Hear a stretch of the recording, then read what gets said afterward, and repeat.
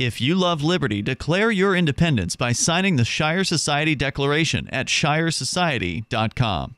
Um, yeah, we're going to get started uh, here. So my name is Daniel Ponto. I'm the community organizer of ACLU New Hampshire. And it's so great to see this uh, awesome turnout for, for this Know Your Rights event. This is definitely uh, probably the largest uh, Know Your Rights event that we've done um, to this day. So excellent to, to be here with y'all. Um, I'm going to let G, uh, G take it off, but uh, just a couple logistical notes. We do have two restrooms over here. They're gender neutral, so you can use either one. Um, and then, yeah, I think that's it. So the agenda for today is uh, uh, will go through kind of uh, a PowerPoint presentation on what your rights are and uh, other uh, educational and informational things related to immigration. And then we'll do a, uh, a model, we'll kind of model um, these scenarios for y'all and like kind of act it out up here on on the stage for you, just so you can kind of get the feel of uh, what these checkpoints look like um, and how it feels to be um, at these checkpoints if you haven't gone through one before. And then um, NextGen uh, New Hampshire will help us out with a, a sign making event. Um, there are some people who want to make some signs uh, to put on their cars for when the, the next point comes, the next checkpoint uh, is set up uh, to warn people up ahead that you know, that there's a checkpoint and they to give them a chance to, to exit. So yeah, with that, uh, I'll give it to Gilles.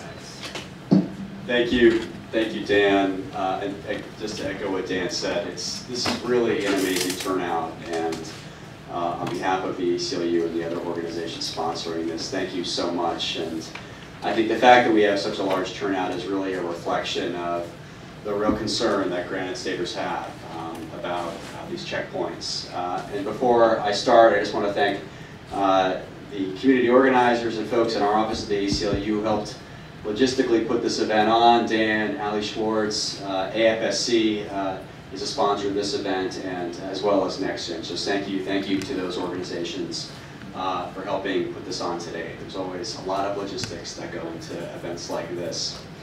Um, my name is uh, Gilles Bissonnette, as I said, or I may not have said. I'm the legal director for the ACLU of New Hampshire. Uh, and what that means is I go to court uh, in both state courts and federal courts here in New Hampshire litigating the ACLU civil liberties cases. Uh, and it really is, I think, the best job in the world. As I like to say, I, I sue the government for a living, which is pretty cool.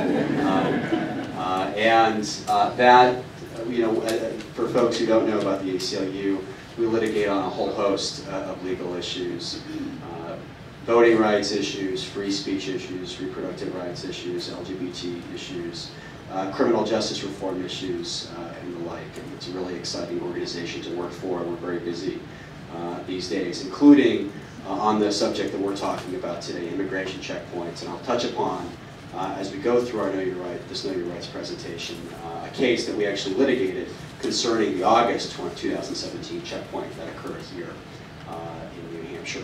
So why don't we just go to the next slide, Dan? So I think if anyone who's read the newspaper or uh, follows news online knows that we've seen uh, in the past 18 months an expansion, uh, a fairly significant expansion of immigration enforcement, uh, not only in the United States, just nationally on the southern border, but also here in New England.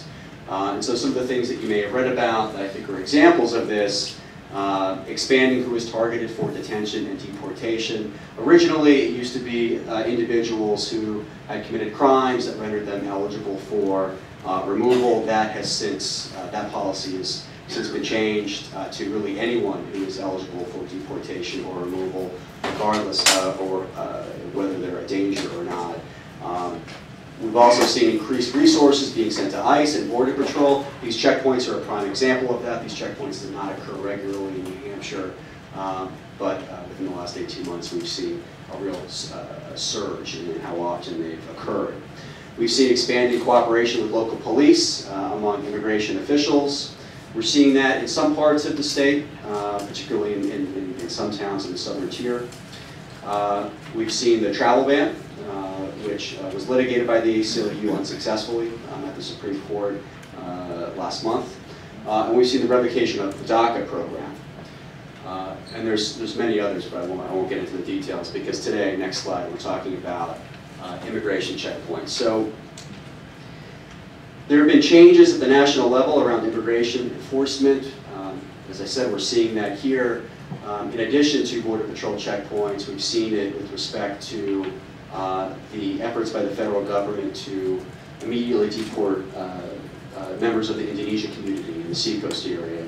A, group of individuals who had pre, arrangements with federal immigration officials to regularly check in.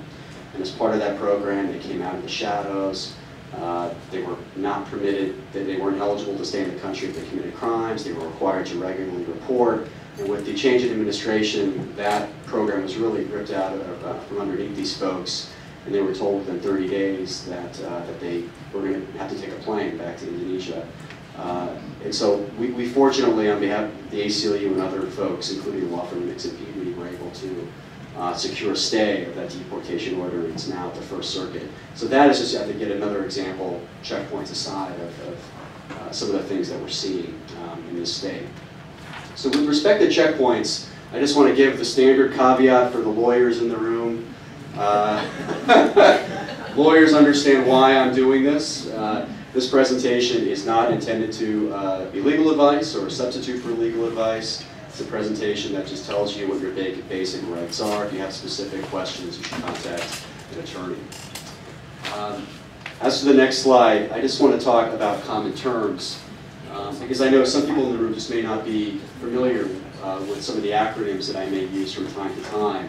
And they, they can be confusing. So I want to talk about three branches of immigration law enforcement. The first is immigration and customs enforcement.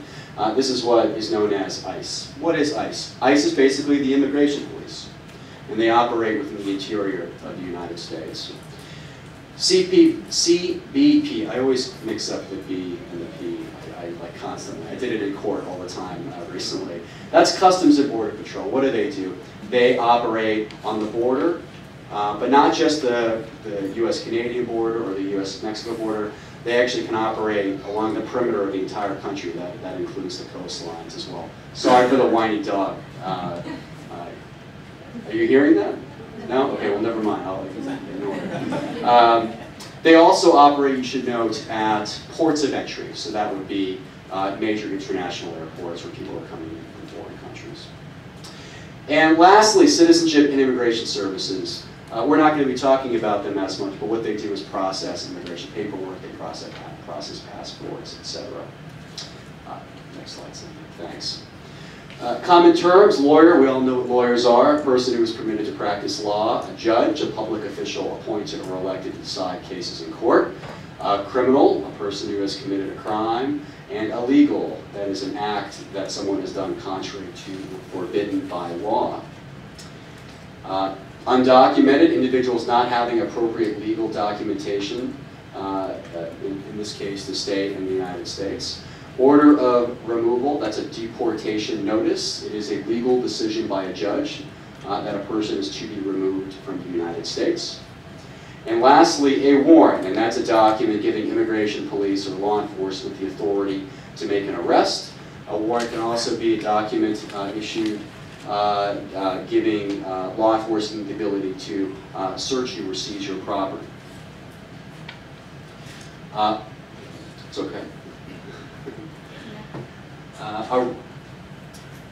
So it's okay, I'll just keep going through the next slide. So what the next slide would say, uh, there's a few other terms that, that we may be getting to. Uh, and that's uh, a raid. We've all heard, heard about immigration officials conducting raids uh, oftentimes at certain places of employment. Uh, a raid is, I like to use the phrase an attack. It's an attack to identify or arrest individuals who are undocumented by law enforcement. An arrest, that's a seizure of a person by legal authority to take someone into custody. A search and seizure, and that's at issue with respect to checkpoints. That's a procedure used by police or other authorities to search one's property or place uh, of business and take any evidence relevant that they suspect uh, may be uh, the nexus, uh, may have a nexus to criminal activity. And one term you're also going to hear me use is consent. And that is, what that means is giving permission for someone to uh, search property. that's mostly, in fact, the context in which we're going to be using it. All right, and next would be, the slide is who could be at risk of removal at checkpoints. So that's the prior slide. Let's go back one more. Thank you. So uh, who could be at risk uh, at checkpoints? Three categories of folks. First, people who have been ordered to be deported. The second category would be people uh, without papers or without lawful immigration status. And third would be anyone who is not a U.S. citizen and who has had contact with the criminal justice system. What do I mean by that? Someone who may have had lawful status but, but now effectively loses that status because there may be an allegation or that, uh, that, that the person has committed a crime or most likely that person has been convicted of a crime that renders them eligible for removal. So those are individuals that may have issues with their status uh, and uh, could be subject to repercussions uh, at these checkpoints um, as they're engaging uh, Border Patrol officials. So now let's just talk about the checkpoints in general. Uh, and let's kind of get into the heart of, of, of what we've been seeing in New Hampshire. So CBP recommenced temporary immigration checkpoints in Woodstock, New Hampshire in August of 2017. Now we hadn't seen checkpoints at that location for a, a, significant period. There was one in 2012. I think that was the only one uh, that I'm at least I'm aware of between 2009 and 2017. Uh, I believe there were some examples of that checkpoint being used uh, post 9/11, but there was a, a, a significant gap where these checkpoints weren't really occurring, and instead, I think those resources were predominantly placed in, uh, in or around the, the, southern border. But as I said before, with the new administration, we've seen uh, a lot of resources thrown at this issue, and that has meant the increased use of temporary checkpoints now in New England. We've also saw one recently on, I believe, I-95 uh, in Maine, in the Bangor area. Uh, four checkpoints have been conducted at this location. As I said, they started in August 2017. There was one uh, one month later in September 2017, and then there were two this year on, on holiday weekends, May 2017 during Memorial Day, and June 27 on Father's Day weekend. So I say like uh, Border Patrol likes to choose popular holiday weekends to conduct uh, these checkpoints. We do expect four more this year. Uh, why do I say that? Uh, because we obtained through a public records request a communication between the state police and Border Patrol that was drafted earlier this year before the Memorial Day checkpoint in which uh, Border Patrol said that there was six checkpoints planned. Well, we've, had, we've seen two since then, so I think the expectation is there might be four going forward, which is why I'm so excited that you're all here today because I think we anticipate more activity in the future and it's very important uh, that people know what their rights are, of course, when they go through these checkpoints. Who's been to Woodstock here? Wow. Uh, who, uh, who has gone through these checkpoints here? One, two, three, four, five, so maybe about five or six, okay. Um, at some point, I'd love to hear your thoughts on, uh, on, on, what your experience was like. I have some thoughts of my own that I'll get into, of course. Um, uh, and uh, we've seen some video that we're going to talk a little bit about, about these checkpoints that, that concern, concern us with respect to how they've been conducted. But for those folks who've gone to Woodstock, which seems like most of the people in the room, population 1,300, very small town, on the southern end of the White Mountains, and of course, that is a corridor for people to uh, enjoy the beauty of New Hampshire and go into the mountains. And so I think this, this place is very strategically located uh, by immigration officials to capture, uh, to capture folks who are uh, uh, going up to, to the northern part of the state. But I would note, of course, that Woodstock is not at the border. Um, Woodstock is 90 driving miles uh, from the border. And so this is what I'm going to be talking about a little, a little bit as well is that um, Border Patrol has a very expansive view of what actually the border is. Um, so I'll be getting to that in a moment. Go to the next slide, Samuel. So I know I mentioned this before, but I want to talk a little bit about it. Um, uh, there was an ACLU, uh, ACLU lawsuit about the uh, checkpoints that occurred uh, back in 2017. And in that lawsuit, and this resulted in a decision back uh, from two to three months ago.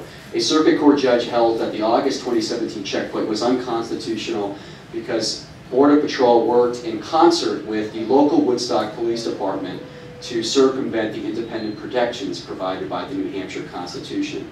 Uh, and these are specific pr protections that bar the use of dog sniff searches, which is what CPB was doing.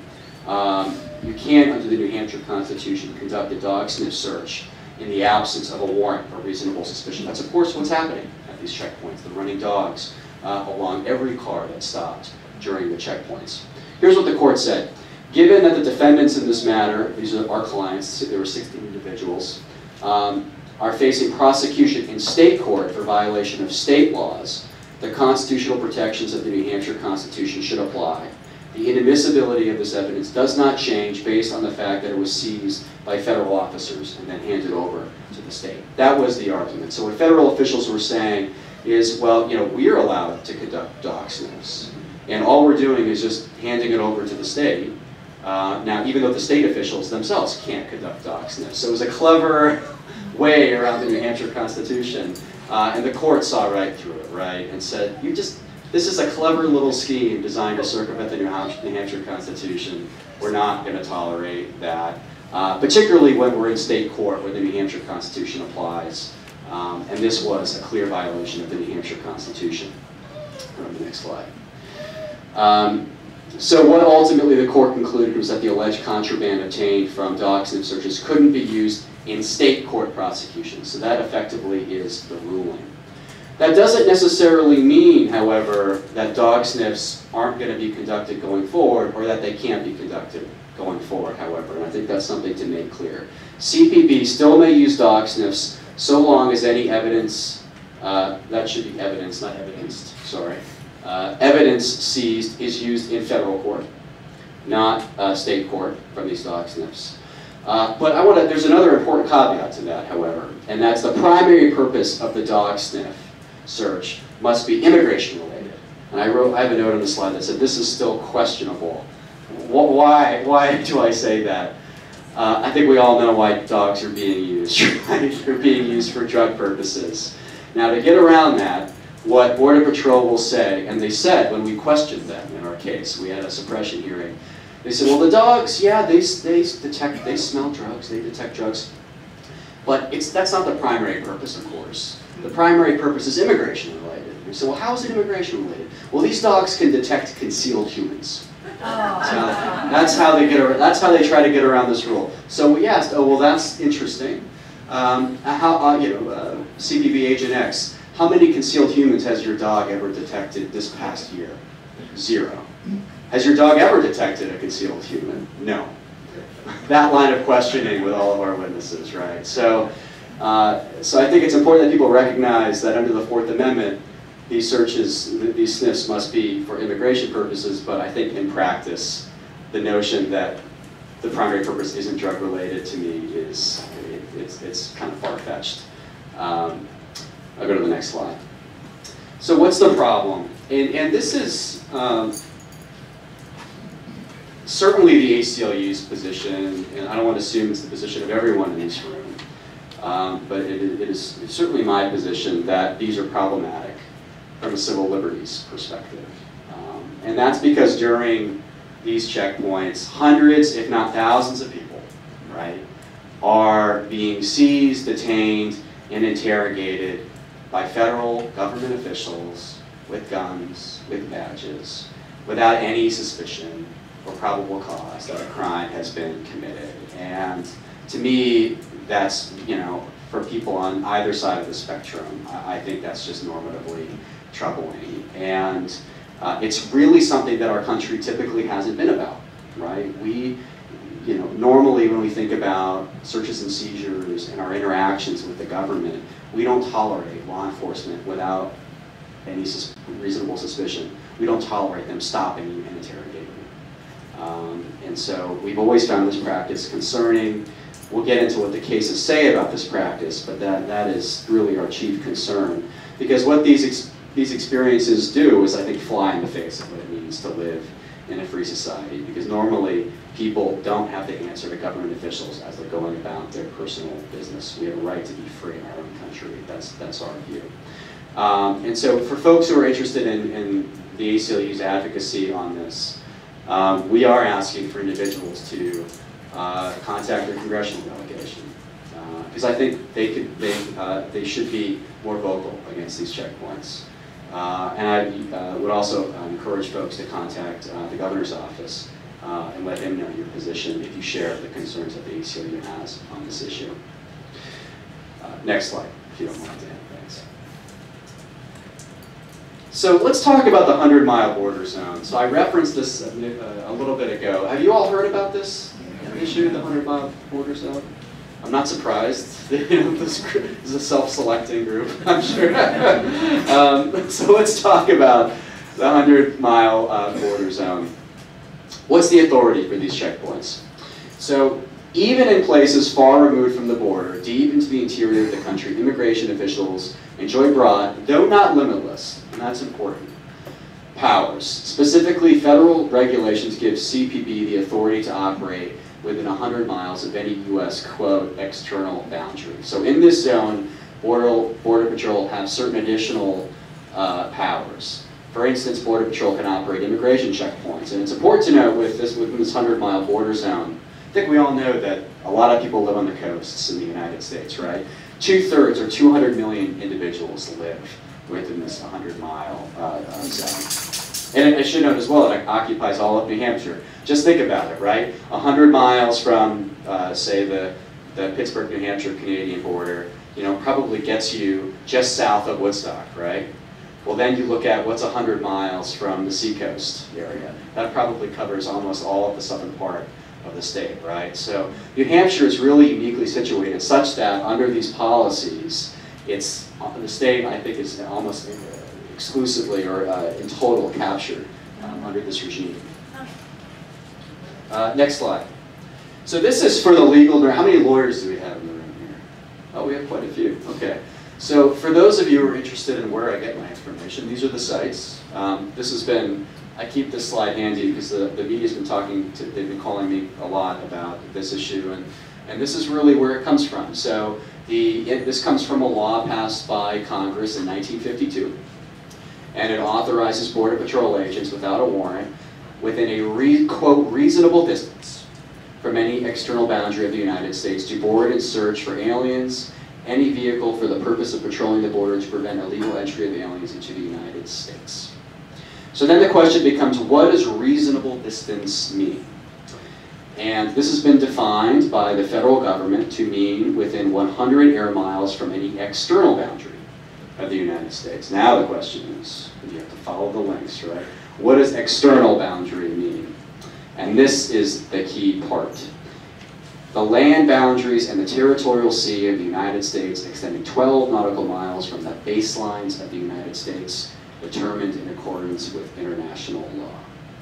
So 12 nautical miles from, say, the seacoast, and then 88 miles inland. So again, it captures almost the entire uh, state, if not the entire state. So that's where, when you hear about the zone, that's the legal authority from which it comes.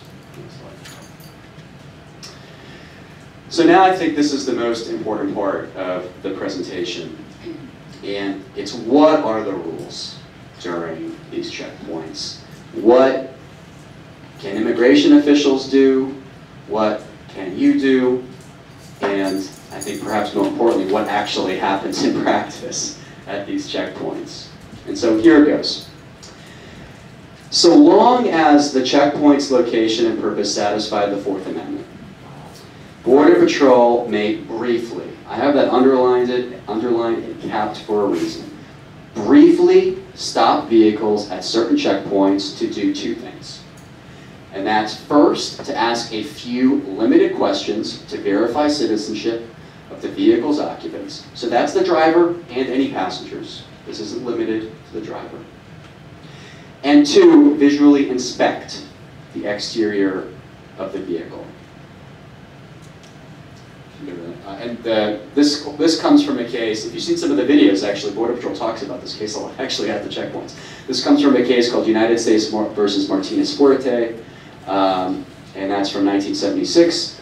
And there the court ruled that immigration checkpoints were permissible only insofar as they involve a brief detention of travelers during which All that is required of the vehicle's occupants is a response to a brief question or two, and possibly the production of a document evidencing a right to be in the United States. That last part I'm not going to get into if you want with respect to uh, a document evidencing a right to be in the United States. That is actually incredibly complicated. Uh, and if you want to talk to me at the side, I'm happy to. Um, but, but I'll avoid that here for the moment. Um, let me let, us go back to that slide real quick because I, I, this is a bad case, okay? Um, and the the rationale for, for this decision. I'm going to go off script a little. so the rationale for this decision was that federal immigration officials need to have this authority because individuals illegally cross the border and then they use their freeways to kind of migrate towards the interior of the United States. And the, and the idea at the time was um, we don't have a very robust uh, it, we don't have very robust immigration police to monitor that. So checkpoints kind of serve that purpose. I think in the 1970s, uh, I had to double check this, but there, there might have been, you know, a thousand federal immigration police agents in the United States. And so this was kind of an economical way to use their, their authority. That's not the case now, right? How many immigration officials do we have? Do, do we know? About 20,000 uh, it's the largest police force in the United States. This, to me, th this notion of the 100-mile zone that was implemented in the 50s and then was subsequently defined by regulation, and the Martinez-Fuerte decision in 1976, to me is just so incredibly antiquated, right? And that rule was created during a very antiquated time where there weren't the resources that currently exist with respect to immigration enforcement. Um, so I just kind of want to highlight that and just give kind of a little bit of historical context. Um, because I'm not sure the folks who were on the Supreme Court in 1976, if they knew how this was being used now, I don't think they, they would have been as maybe cavalier as they were in 1976 about the degree of intrusion that occurs during these checkpoints. Um, they put these rules in place kind of under the theory and rationale, well, you know, we're going to limit the inquiry that Border Patrol agents can engage in. Uh, but this really isn't that significant of an intrusion, was, was the court's view. Well, you know, I think what we're seeing right now is federal immigration officials taking this authority, lashing onto it, and then, and then pumping it up with steroids, right? Um, and that ultimately, as, I think what's so problematic, and what makes these decisions, I think, a little bit more antiquated. Uh, but they are, of course, the law in the land, and my job to, to educate you about what those, what those decisions say. Um, so that's my two cents. Uh, go to the next slide if you don't mind. Border Patrol cannot search the interior of a vehicle without the owner's consent or probable cause. What's probable cause? A reasonable belief based on circumstances that an immigration violation or crime uh, has likely occurred. So, they can't search your car unless they can meet these two exceptions. Often, they will ask, can I search your car? What do you say? No. Let's, let's say that again. No. no. We get a very, very good audience here who knows their rights. Uh, you don't have to consent to anything, no matter what they say, no matter how, how much you're pressured. Uh, you don't have to do that. The cite from the Martinez-Fuerte decision is on page 560 for those who are legal nerds um, about this limitation. Neither vehicles nor occupants should be searched, and referrals to secondary inspection areas only uh, areas should involve quote routine and limited inquiry into residence status only. Next slide. Let's talk about canines though, because I think this is important because we we're seeing canines quite a bit during. Um, during these checkpoints, and it, it, led to obviously litigation in state court that the ACLU uh, was involved in. Uh, let me just grab my notes here. Um, so agents may be able to obtain probable cause for a search if a dog, dog uh, if a dog, drug sniffing dog legitimately quote alerts to the presence of drugs. I use the term legitimately for a reason. This isn't something that you necessarily should challenge immigration officials on okay, uh, uh, uh if you go through these checkpoints. But it's something that uh, lawyers like me are thinking about a lot with respect to how these, uh, how these checkpoints are conducted.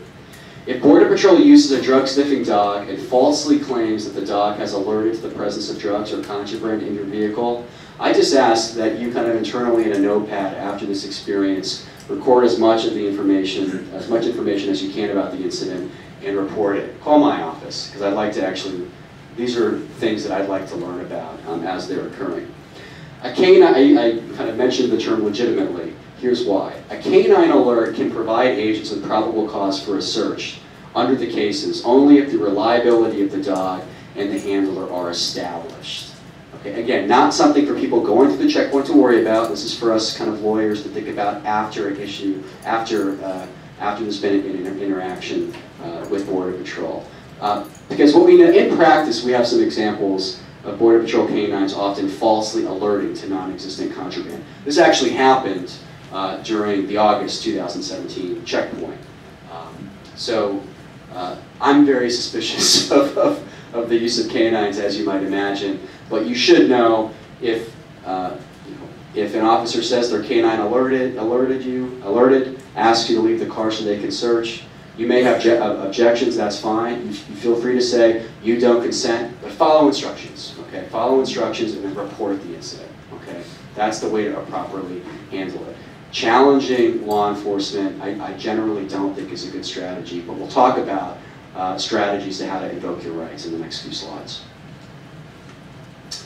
Agents may send any vehicle to a secondary inspection area for the same purpose. Brief. Again, brief. Brief questioning and visual inspection. Again, this came up in the Martinez-Fuerte decision. Referrals to secondary inspection areas should be, quote, made for the sole purpose of conducting a routine and limited inquiry into resident status that cannot feasibly be made of every motorist where the traffic is heavy. Next slide. Agents should not, under the Martinez-Fuerte decision, ask questions unrelated to verifying citizenship, nor can they hold you for an extended period of time or prolonged period of time without at least reasonable suspicion that you committed an immigration offense or violated federal law. Okay? That's, I think, an important rule. If you are held at the checkpoint for more, uh, for more than brief questioning, you can ask the agent if you're free to leave. Um, I think that's an important question to ask because it kind of puts the agent on the spot and forces the agent to make a decision.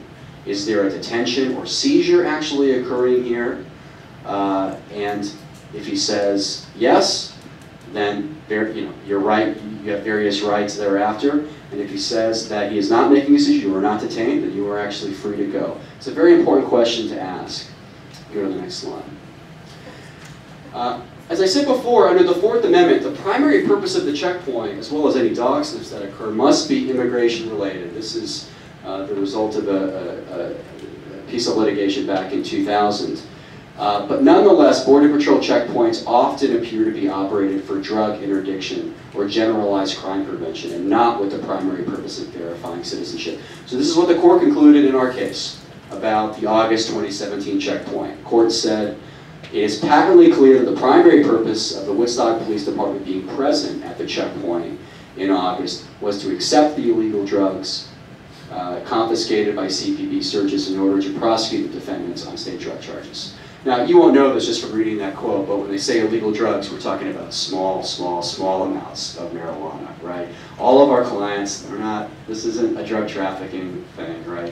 These individuals had, uh, are alleged to have had personal amount uses of marijuana. They were charged with violation level offenses, okay? So for those folks, for the lawyers in the room, you know that that's not even a, a criminal, criminal level offense. It's effectively a civil, uh, uh, viewed as a civil offense. So there's been some misinformation in the press about that, so I thought I'd get it out there. You always have the right to remain silent. I'm going to say that again. You always have the right to remain silent. However, if you don't answer questions to establish your citizenship, uh, if you don't do that, uh, immigration officials may detain you longer in order to verify your immigration status. But this is key. This detention is still supposed to be brief under U.S. Supreme Court case law, and in particular the Martinez Fuerte decision I'm talking about. It cannot be prolonged. And your silence isn't, your silence alone isn't enough to arrest, detain, or search you. Our view is that a Border Patrol cannot identify the person's status during this brief period of time. Then CBP must let the person go. Again, under the Martinez Fuerte decision, you can only detain someone for a brief period of time. Silence alone doesn't give them the authority to prolong that detention. You go to the next slide. We're seeing, what we're seeing are instructions to be, that, that are contrary to this by Border Patrol. We saw this during the Father's Day checkpoints. CBP's instructions to motorists flagrantly violate these principles. For example, uh, during the Father's Day checkpoint, one CBP agent told the driver, quote, if you're not going to answer my questions, I'm going to uh, going to have you sit here until you're ready to answer my questions. I'm going to need you to answer my questions before you can go. So what's the threat here, right? If you invoke your right to remain silent, I'm going to seize you and detain you indefinitely. What are they trying to do here? Coerce you, right, to relinquish your right to remain silent. This is a pretty intimidating thing to say, by the way, right? Can you imagine, for those folks who were at the checkpoint, I'm sure you can imagine, but for most of you weren't, you imagine that, right? You're at a secondary inspection area, or you're, you're actually in the freeway, you have hundreds of cars behind you, you're being told if you don't answer, going to effectively arrest you for, you know, an arrest could mean, you know, a seizure for eight, nine hours, uh, in some instances, what Border Patrol were saying is that we're going to detain you for as long as the checkpoint's in operation. Um, who knows how long that will be, right? They don't advertise when they're going to shut them down. So uh, this is an unlawful instruction, and it is a coercive instruction. As I said, it's designed to have individuals will relinquish their rights, and it's designed to basically force people to cooperate with what they're doing. That's what's going on here. The next slide. Not answering Border Patrol's questions is a real personal choice. So we're not instructing people to, to not answer questions. Okay, this is a decision that you all have to make for yourselves. What our goal here uh, is to just inform you about what your rights are uh, so you can make an informed decision uh, that comports with your philosophy or your personal circumstances. You should note, of course, that if you uh, decline to answer Border Patrol's questions, it could prolong your seizure. Even though Border Patrol is acting unlawfully in doing so, right? They should still only briefly detain you in attempts to independently verify your status. Um, but you should know that there is a risk that they will violate those principles and detain you for a significant or prolonged period of time beyond the brief period of time that's allowed under law. Um, if you decline to answer and Border Patrol prolongs your detention in an attempt to, to determine your status, I'm going to throw an example out here in excess of 15 minutes. We know of one instance, because I know he's here today, I'm not going to call him out, of uh, prolonged detention occurring around, around 30 minutes. Uh, I'd like to know if that's okay. So if you, you are, if you decide to invoke your right, and again, a personal choice, I'm not instructing you to do that, decision for you to make. But if you decide to invoke your right um, and you are detained for an extended period of time, please contact my office. If you decide to answer questions, never lie. It's a crime. Immigration at ACLU how to contact us. Immigration. Yes, yes. You can contact my personal. I, these slides I'll make available. Uh, my email address is at the end of it, um, and also immigration. Uh, very simple, uh, immigration at ACLU-NH. That, that goes, that .org goes right to my inbox, I think, so you can use that too. Um, you may video or audio record federal agents so long as you do not interfere with your work. So it's okay to record these interactions. And I should tell you that they've been immensely valuable to my organization in finding out kind of what happens at these checkpoints. Uh, I really, uh, can't imagine how we all did this work, frankly, before video, uh, uh, because you really can't argue with the evidence when you have uh, when you have uh, video of, of, of, how law enforcement are behaving. But uh, a few rules of the road for this, because uh, we want to make sure no one gets in trouble. It's advisable that if, if you have a passenger with you, get the passenger record. Um, we don't want an immigration official thinking there's a perceived safety issue if the motorist is his her hands. So I think having uh, a passenger do it, or alternatively, uh, using a dash cam device, I think is an appropriate way of doing it. We also have, we have a hands-free law, right, in New Hampshire, so I don't want people to be breaking that law as well. So uh, I think uh, that's, that's, the, that's my recommendation with respect to recording if you want to go do that process. Also, never flee a checkpoint. Uh, it's a felony. So if you're instructed to go to a secondary area, do it. You're instructed to uh, get out of the car so they conduct, conduct a search, even though you haven't consented, and even though you think that the search is unconstitutional, respond to those instructions, comply with those instructions. But remember, you always have a right to, what? What am I about to say? Remain silent, okay? What's a good way, I just, you know, just to kind of give you an example, because I saw this in some of the videos, how do you invoke your right not to comply? Like, other, rather than just say, like, rather than just sitting there and actually literally being silent. So, a couple examples. Um, uh, you could say, I'm invoking my right to remain silent, and that's it. You could say, I'm not going to answer any questions today. Um, and so, we're going to do some hypotheticals in just a few minutes, just about what that looks like, but there's some great videos, not only of what occurred here in New Hampshire, but when these checkpoints occur elsewhere. You can see how people do it, but I think the best way to do it is don't get into a confrontation. Don't argue about what the law is. Don't get into a debate. That no one wins those debates. There's a huge power imbalance in this type of situation, right? And uh, you know, I'm a lawyer, and I think it's intimidating even myself, right? It's so uh, the way to do it and again, a personal choice for, for all the folks in this room and for all the folks that are watching this is being recorded. Um, you know, if it's something that you would want to do for various reasons, uh, I think it's just that simple. You know, I, uh, I'm invoking my right to remain silent. Uh, I, you know, I'm not going to answer any questions today. You're going to be asked the same question three or four times, right? They don't just stop, right, folks? Uh, they're going to keep asking the questions. They're going to say, uh, and in fact, I saw it in one of the videos. Well, it's a simple question. Come on, simple question. Um, and they're just gonna, they'll just keep going. They'll keep going. Um, but you have a right to not answer. You just keep saying the same thing. That's all you got to do. Keep saying the same thing if that's the choice that you want to make. I'm invoking my right to remain silent. Uh, I'm not going to answer any questions. I'm not going to answer any questions. You're going to sound like a broken record, and it's weird, right? Because that's not how you normally interact with folks, but that's what you do. Just say the same thing. They're going to, they're going to ask you questions like, uh, is this your car? Uh, Mr. Jones. Not going to answer any questions. Why would they ask, is this your car? Does anyone know? Yeah. Yes. So uh, we'll get into this in the role play. But if you don't answer questions, what they'll do is, uh, we think, is they'll run the license plates, find out who the owner is, run the run that name through their system, so they'll know. Say, for example, okay, the owner is Mr. Jones. Mr. Jones has status. So now I'm trying to figure out if you're Mr. Jones. And if you and if you are Mr. Jones and acknowledge you're Mr. Jones, you'll be free to go, right? Um, so they'll ask questions like that. You know, Mr. Jones, is this your car? And then you say yes, and then you're free to go. so they, they figured it out, right?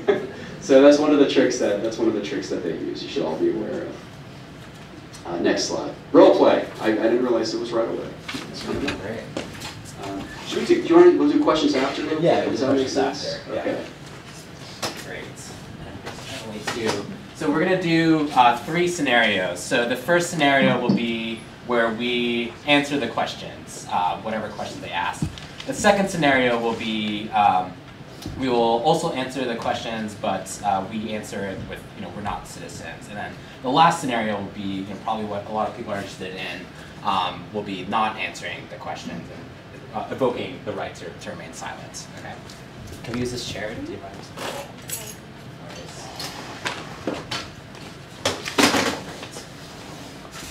We use that. Am I involved in this? I forgot. Am I? Uh, I think yes. okay. You have that, yeah. Okay. Okay. Okay. We're doing the commentary. Yeah. Okay.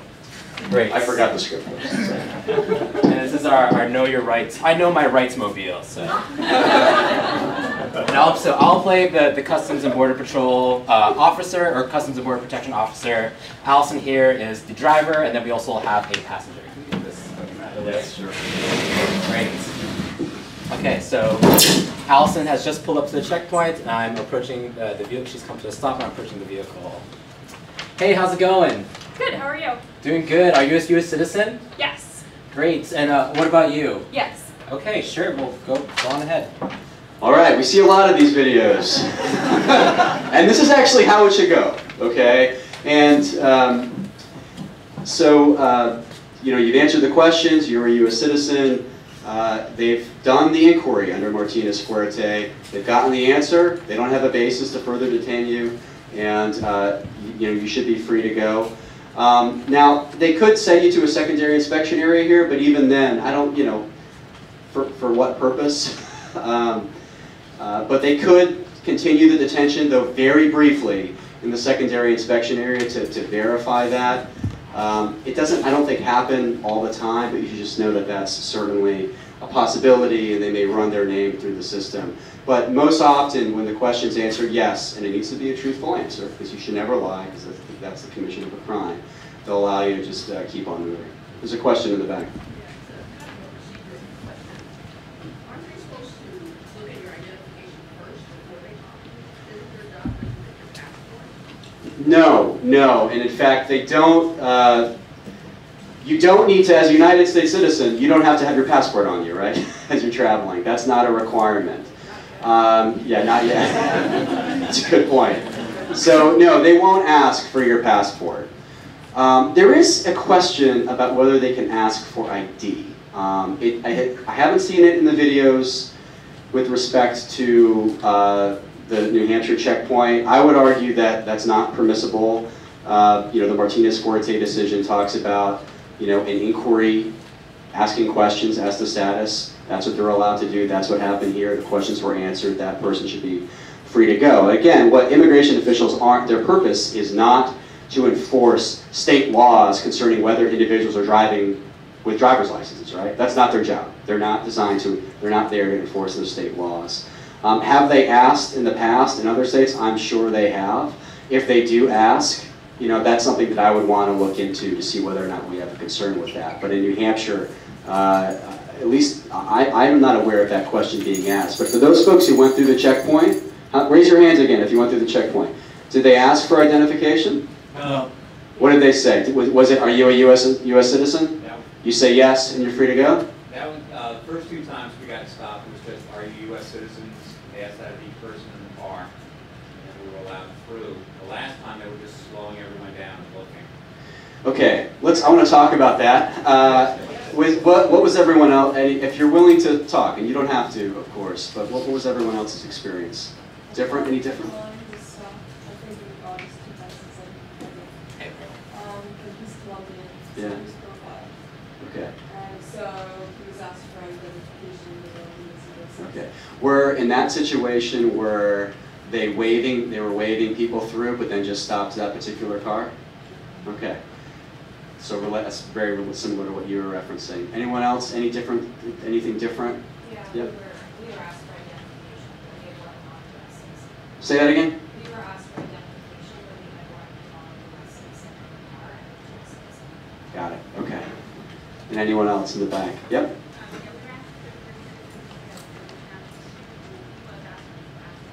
Um, okay.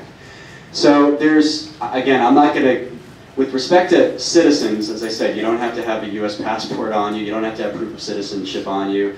There are some classes of folks, and it is complicated in the weeds, and again, I'm not going to get into it here, of individuals who do have to have that with them, but I'll, I'll kind of leave that for another day. What I'm very interested in as well, this is so great to have this many people uh, who went through the checkpoint, because I can learn about what's happening.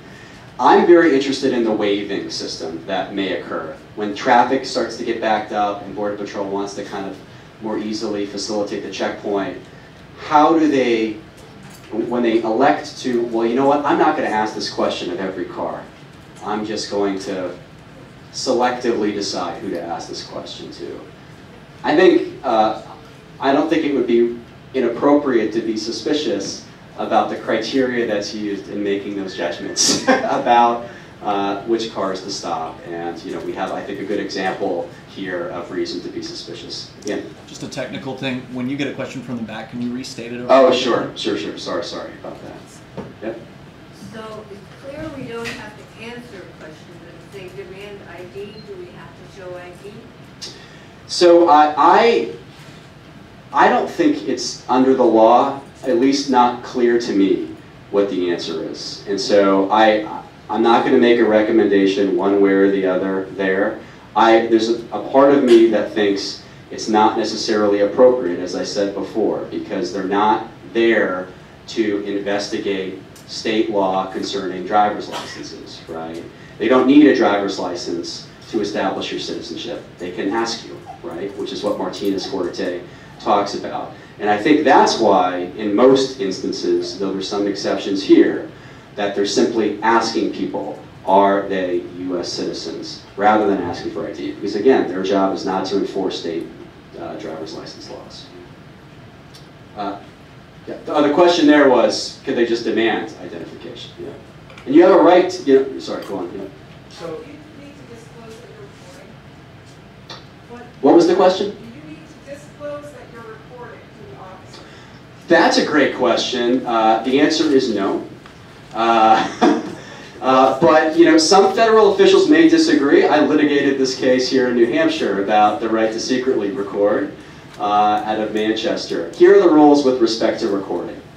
You have uh, the question was uh, for those folks who are watching: Do you have to disclose that you're recording? You have a First Amendment right to record if you are recording a law enforcement officer performing their official duties in public, so long as you uh, do so without interfering with their, the performance of their duties. So here, you're recording a federal immigration official performing their duties in public. They're out in public view. Uh, and you're, if you're doing it without interfering and doing it in a way that doesn't cause the federal immigration official to believe that there are safety concerns, then our argument is that our belief is that you have a First Amendment right to do it. So my recommendation, I think using a dash cam is, is probably the safest way, one of the safest ways to do it. So if they're using local law enforcement, does this afford them the opportunity to ask you for an ID legally? Uh, good question. I want to think about that. I think my initial instinct would be no, right? Because these, the question is if local law enforcement are collaborating with federal immigration officials at these checkpoints, would that give, uh, would, would that give, enhance the ability for local law enforcement as part of these checkpoints to ask for ID? My argument would be no. And why is that? And that's because, as I said before, the primary purpose of these checkpoints is supposed to be immigration related. And so there, you would have basically state law enforcement bootstrapping off the backs of, of these checkpoints. And I think that would probably be inappropriate, especially after the, the decision that we litigated concerning docs and searches. I'm going to do one more question, then I want to get to the next. There'll be time for questions after, but I want to get to the next uh, scenario. One last question.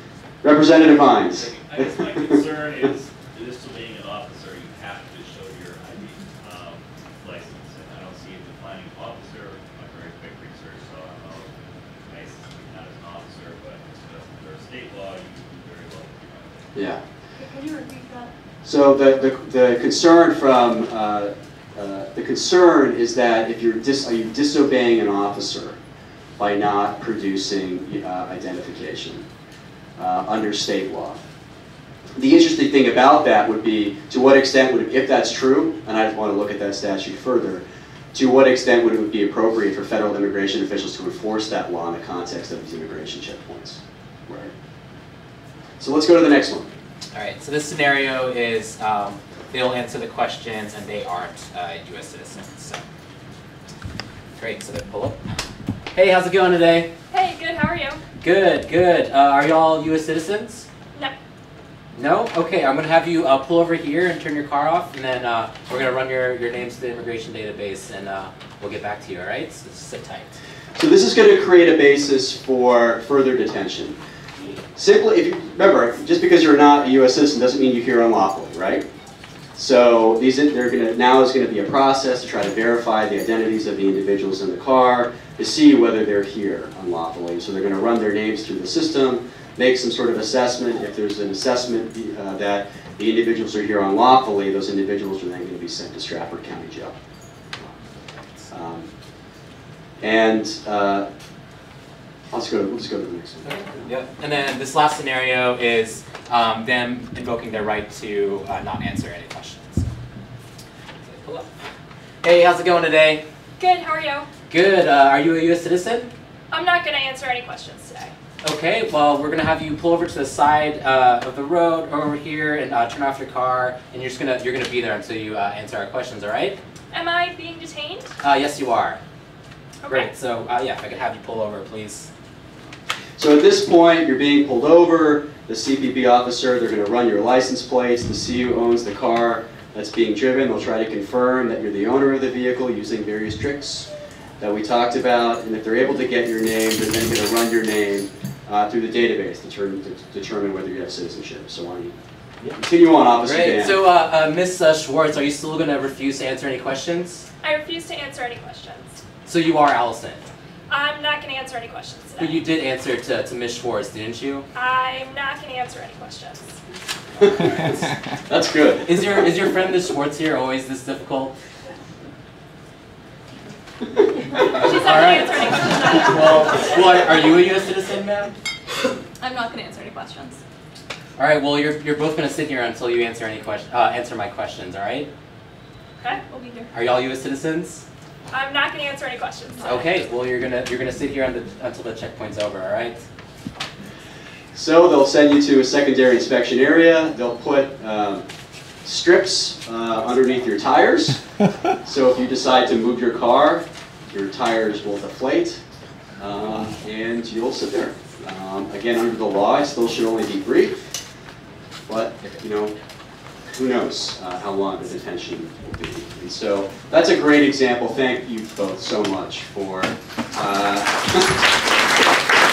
it's a great example uh, how to invoke your rights in this type of situation. So uh, this concludes the presentation, and I'm happy to answer questions. I'm sure there are a lot of them. I may not be able to answer all of them. I think the driver's license question, to me, is a challenging one. Um, and, you know, I'm not necessarily confident in what the right answer is. And so just to be clear, uh, you know, it, it's very much a personal choice uh, with respect to how you decide to respond to law enforcement. But just recognizing if you decide not to turn your license over, that you decide not to give your identity, as we just, just saw moments ago, uh, you know, you're going to be detained. Uh, and it should be brief, but not always. Yes, right here. So if, uh, if you are detained and you're left to sit there for 30, 45 minutes, an hour, would it be, um, would it be useful uh, to, to let them know that you, that you realize that that's not, that that's not legal for them to detain you that long? Uh, I don't, I don't think it would be useful, to be honest. They're not going to listen to you. and I do worry that, especially when you're invoking your right to remain silent, that that is going to create yet a further interaction with law enforcement in which that law enforcement agent is now going to continue or reinitiate efforts uh, to try to get you to, co- uh, to comply. Uh, so that's just something, listen, again, it's a personal choice. You can volunteer that if you like. I don't, it's not clear to me that it will lead to, that'll necessarily help facilitate a positive outcome, however. Uh, uh, to your right, next question, yes.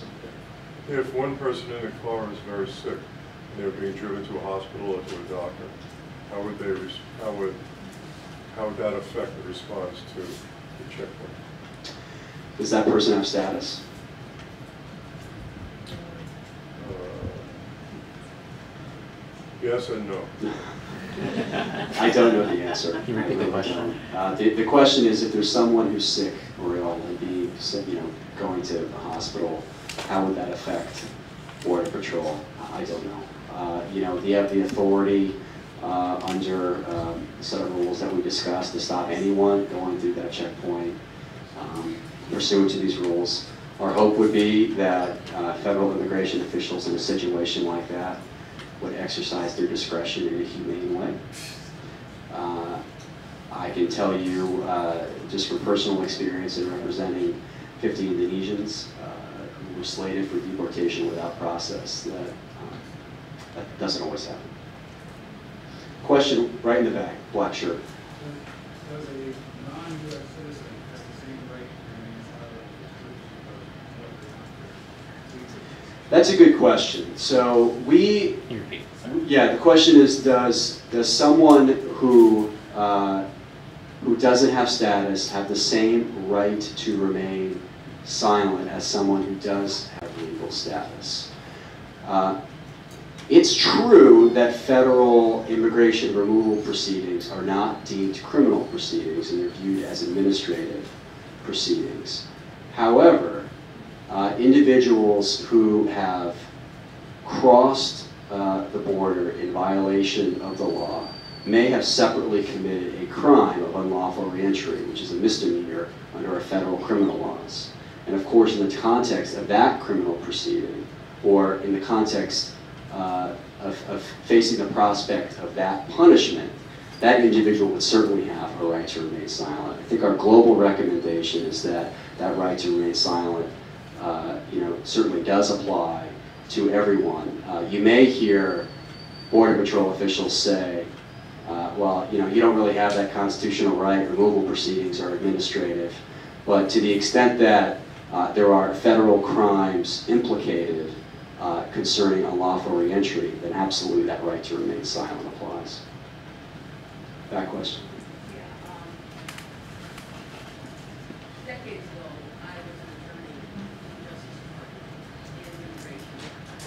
You probably know more about this than I do then. I actually left the law because the system is so broken. But I'm wondering if this case that you mentioned, Martinez Fuerte. yep, Martinez Fuerte. Fuerte? Fuerte, yep. Martinez Fuerte.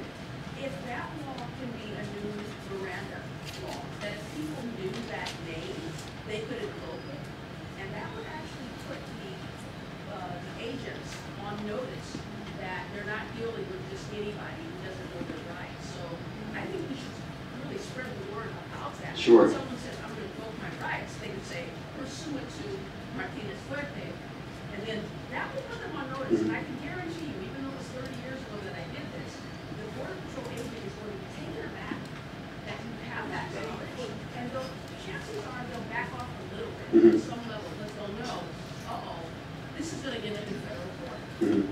So I, I think maybe the PR thing to do besides this is to let the world know, at least New Hampshire, know, this law is I, couldn't agree more. And so for the video, the, the question in a nutshell was, get the word out. Make sure that, that people are informed of Martinez Fuerte who are going through these checkpoints. Uh, certainly that's why we're here today, but we have a one-pager, I forgot to mention this at the outset, that we've created that synthesizes all of this, you know, uh, just on, on one document that you can use for your own personal use. I think we have copies up in the front.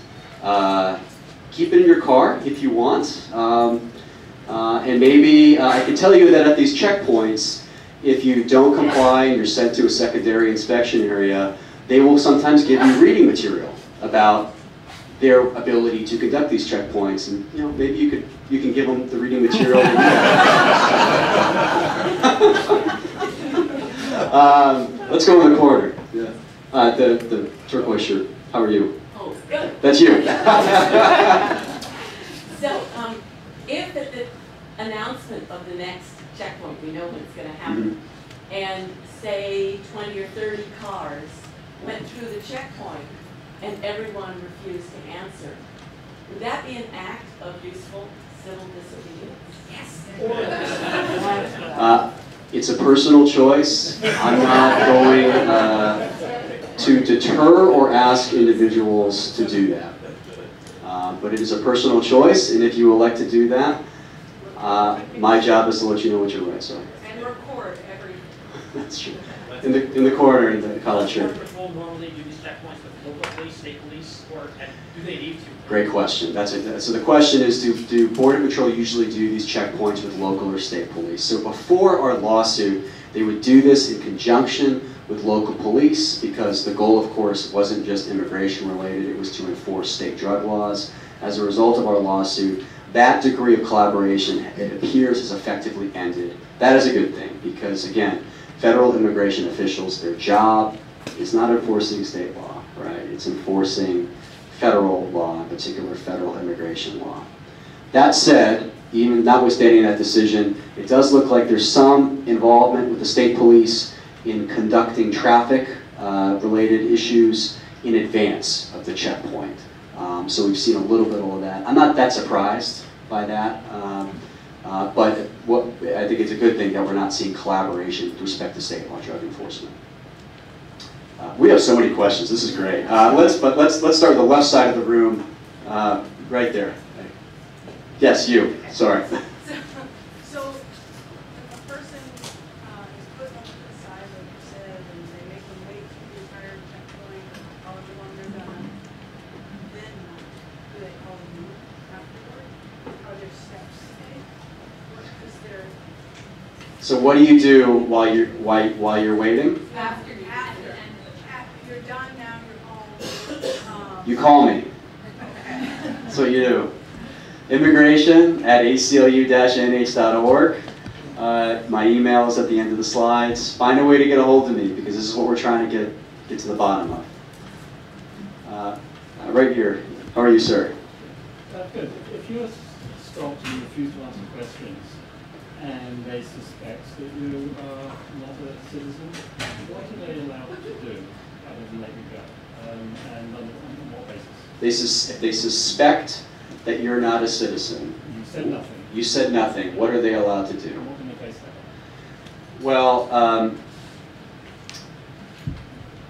there's a concern that you know profiling is occurring. You know, we certainly believe at the ACLU that you can't just look at someone and that would create a reasonable basis to think someone is not a U.S. citizen. There's what what they really can do is what I talked about, which is they can ask you to move to a secondary inspection area and do the best they can, right? Which is run the name of whoever owns the car, see if they can place that name with someone that's in the car, and perform whatever other tricks that are lawfully up their sleeve. Uh, but aside from that, we don't think they can profile. We don't think they can make judgments or should be able to make judgments based on accents or how people look, uh, right? um, so, you know, that's certainly the ACLU's position. And I think, you know, particularly if you're an individual that may not have status and are concerned, you know, invoking your right to remain silent, I think, is important. Put the burden on them.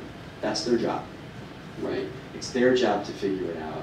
And if you have concerns or issues about your status, you don't need to volunteer. Let them do their job. Um, white shirt in the back.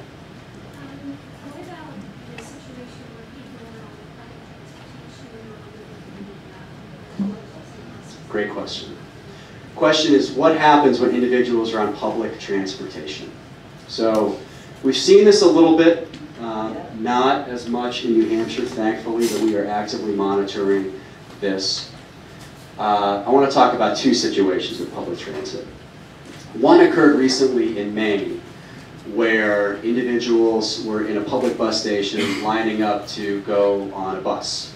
And while they were lining up, there were Border Patrol officials asking individuals whether they were U.S. citizens or not. So that's not a checkpoint situation, right? That's a situation where immigration officials are just in a public place asking individuals whether they have status. You're not actually being seized as you are in being a checkpoint.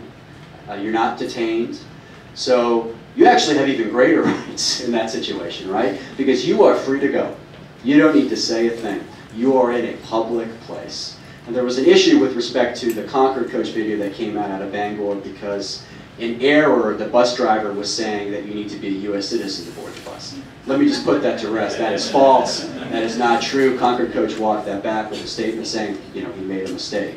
Separately, what we've seen, we saw it in Vermont during the summer of 2017, where buses were being stopped. And this is something that we have tremendous concerns with. The ACLU's position is that buses do not need to allow immigration officials inside. Why? That is not a public place, right? When you're inside a bus, that area is limited to individuals who are ticketed passengers. And so we have been doing advocacy, trying to get these buses to take the position that they don't need to, they don't need to consent to allow immigration officials on the buses. So we haven't seen it in New Hampshire yet. If it does happen here, we're obviously, you know, be, be willing to take a stand. Yeah. Uh, let's, uh, uh, yes, right there, blue shirt, how are you? Hi, uh, can you please define the legal term status? Status. Uh, so, someone, I think what I meant is someone who's here lawfully, whether they're a US citizen, green card holder, visa holder, etc. So that's what I meant when I meant status. Someone who's here, here who's has status. Uh, yes, how are you? It, it's hard to pick people out without knowing names. And I'm like colorblind, so I can't identify this. So if, if someone who is here legally, Mm. you know, they're asked, you they're going to say, no, I'm not, if they choose to answer the question. Mhm. Then Border Patrol is gonna verify that, probably. So are people now required, if they're legal, legally here, are they now required to carry proof of that wherever they go all the time? No, no. There are some, uh, some limited groups of individuals that do have status, that are here legally, that do. That is a minority. I can kind of get into the legal weeds of that. But most people that have status, uh, who, are, who are, have status and who aren't even necessarily U.S. citizens, but are here legally, don't have to hold on, know, keep their papers with them all the time under the law. So what happens to them at these stops? Uh, well, so it's a great question. so if they say, so they're usually asked, are you a U.S. citizen? So these individuals would be saying, if they wanted to comply, right, they would say no. They would be sent to a secondary uh, inspection area, and then they'd be subsequently asked, you know, what's your name? And if they, again, wanted to continue complying, because they you know, have status here even though they're not a U.S. citizen, they would give their name, there's a database, they would run it through the database, and then they'd be allowed to leave once that verification process occurs. That's how it would work. So, yes? Two questions. Um, First, if you're pulled over, you have the right to ask why you're being pulled over. Uh, you do. Uh, again, query whether it's, uh, the question is, sorry, the question is if you're pulled over, do you have the right to ask why you're being pulled over? Uh, certainly you can. I don't know how productive it necessarily will be. Sometimes even before you say anything, they're going to say, immigration checkpoint, you know, as if they're kind of flagging for you why they're detaining you. Are you a U.S. citizen? Uh, I mean, you can ask what they, I presume, will say. It's an immigration checkpoint.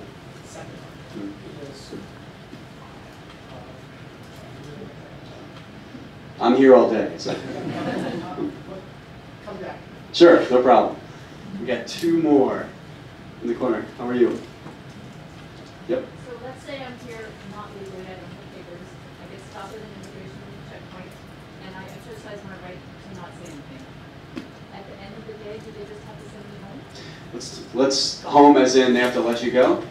This is a great question. Okay, and this is why when I say uh, you have a right to remain silent, it's important because even in that type of situation, our belief is that under Martinez Fuerte, they can't prolong your detention because they don't have a reason, they don't have a basis, they don't have reasonable suspicion or probable cause to believe you're here lawfully. So they have a brief period of time now to try to figure that out.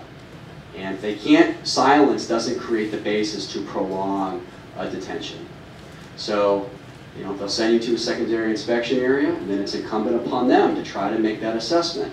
Again, they are gonna, they're not just gonna ask you that question, you say no, and then they're just gonna ignore you. They're gonna keep peppering you. Simple question, it's an easy question. And a lot of times individuals give up, and they do disclose that information. Sometimes individuals want to, they, you know, they feel like they have to. Um, but I think it's important for those individuals as well to know their rights, because really it should be, I think, incumbent upon immigration officials to, uh, for those individuals who want to invoke their rights, for immigration officials to sort it out and figure out for themselves whether an individual has status. Yes? Um, two questions. If we're on a bus or at a bus station or train station and we see immigration officials, can we loudly say to everyone, you don't have to answer any questions? Yes. Just inform everybody in a really, really loud voice.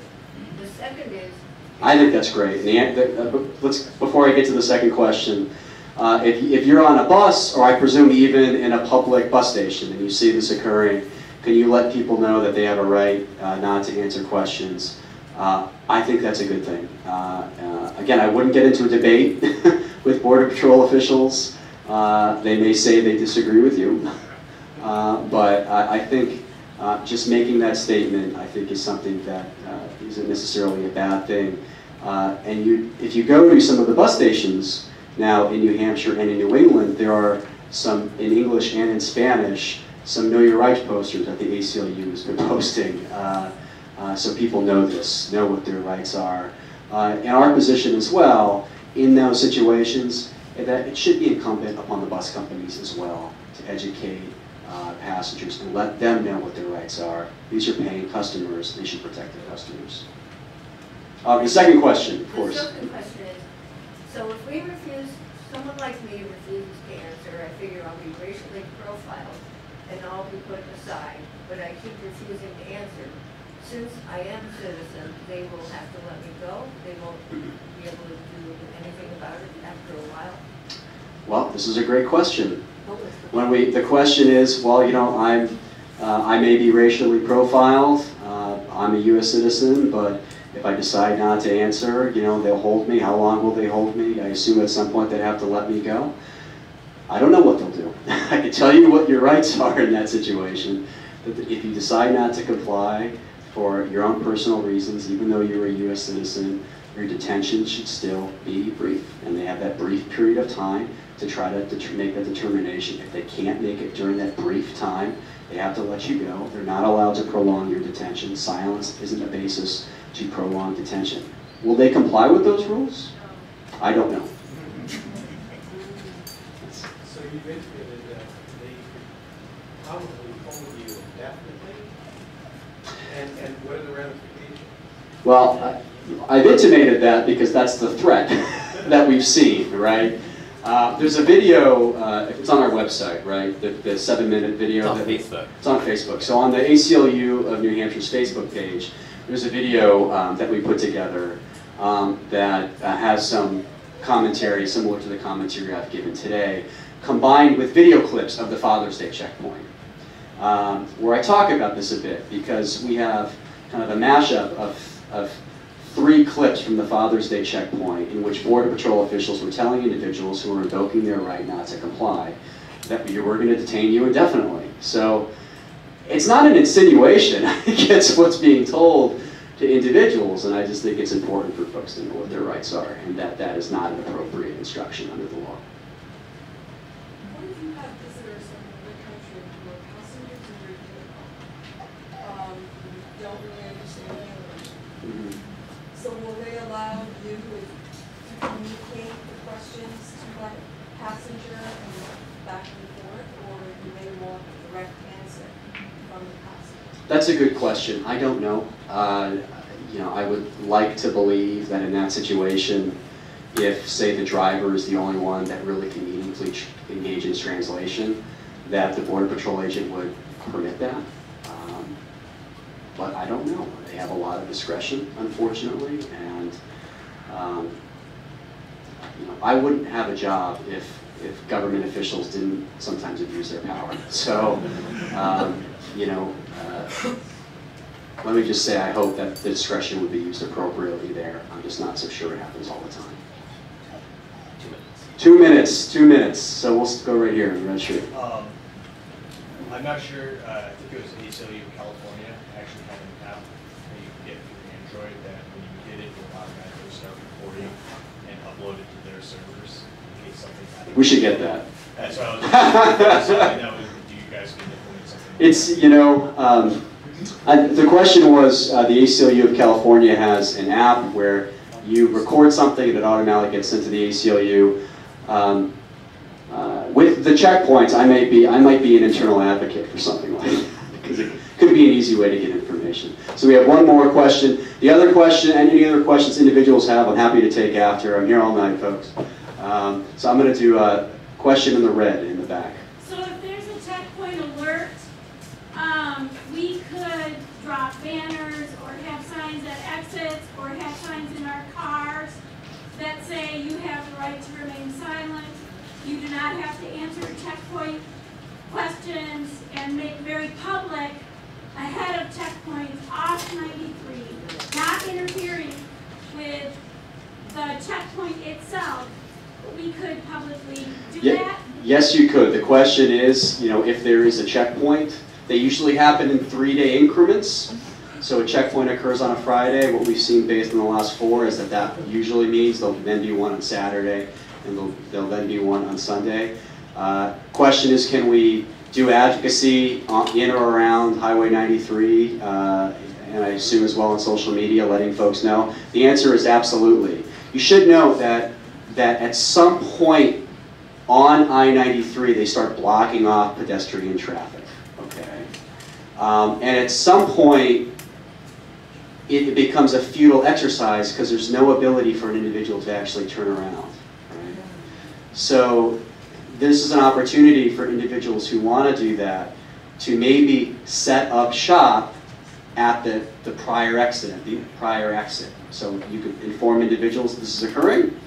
You don't want to partake in what at least I view as a significant intrusion in your civil liberties, um, you know, maybe you want to get off at the prior exit. And so setting up shop at the prior exit may not be necessarily a bad idea as well. Or informing people who are entering from that exit onto 93 South, letting them know what they're about to face. That type of advocacy and information as well could be useful. Let me just say, uh, again, I'll, I'll stay here for as long as it takes to get questions answered. These slides are available. We'll make them public. We have a one-pager in the back. I want to thank you all so, so much for coming. This is so important, um, and it's, it's, it was such a joy and privilege to, to talk about these issues today. Some of these issues are hard, so I, I appreciate it very much.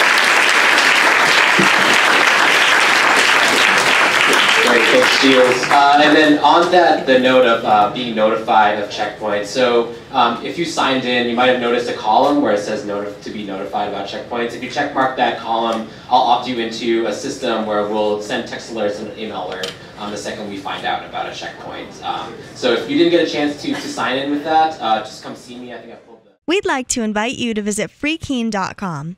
Freekeene.com features audio, video, and blogs chronicling the transition to a voluntary society.